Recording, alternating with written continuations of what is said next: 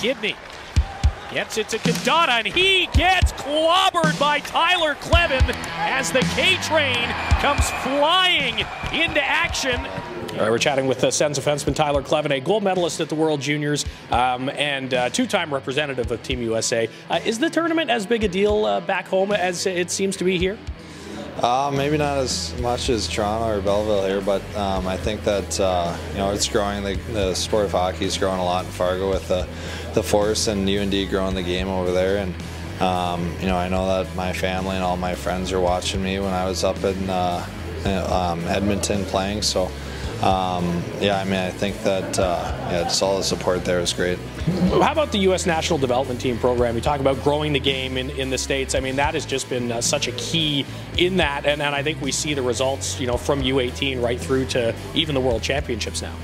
Yeah, they, they uh, NTDP pulls the best uh, 25 kids or so from around the U.S. and just develops them every day. Uh, it's an absolute grind at the rink every day, you know, with uh, two-hour practices and the two-hour lifts. But um, you know, looking back on it, it's it's so beneficial when you're 17 years old, 18 years old, and you learn how to manage your time and learn how to manage school and and uh, you know all the you know physical activity that you have to go through and manage your body. So I mean, um, being a part of that program, I'm very thankful for, and uh, yeah, I mean it's such an awesome program for everyone to go through. Uh, is it safe to say that your favorite World Junior memory is uh, lifting the trophy, winning that gold medal?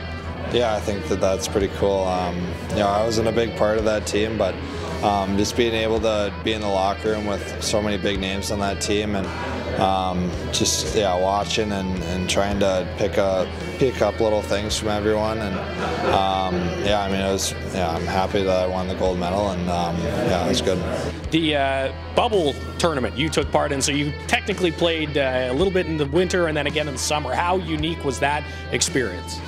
Yeah, I mean, um, both times I went, there was no fans, so that was kind of a weird situation. Usually, when you think of World Juniors, you think of all the crazy fans and um, the atmosphere there. It's unmatched. But you know, in my my couple years of playing there, it was it was pretty quiet. But um, yeah, I mean, it was interesting. Um, hopefully, no one ever has to go through that again. But um, I know that my family and my friends are always supporting me in the, in the bubble, and um, I think that our team was really close together too, because like we, we, were the only people that we could talk to and hang out with. So um, yeah, it was definitely a unique experience, and um, yeah, to be able to win that gold medal is pretty special. Uh, how do you like Team USA's chances this year? Um, I think that they have a great chance. I'm. Uh, yeah, I was watching them, and um, yeah, there's a lot of players I played with. Uh, on that team. There's some really special players, and uh, I mean, I, I'm rooting for them every day. Uh, what's it like being in this room? There's so many guys that have represented their countries at that tournament. Are there some bragging rights on the line, perhaps?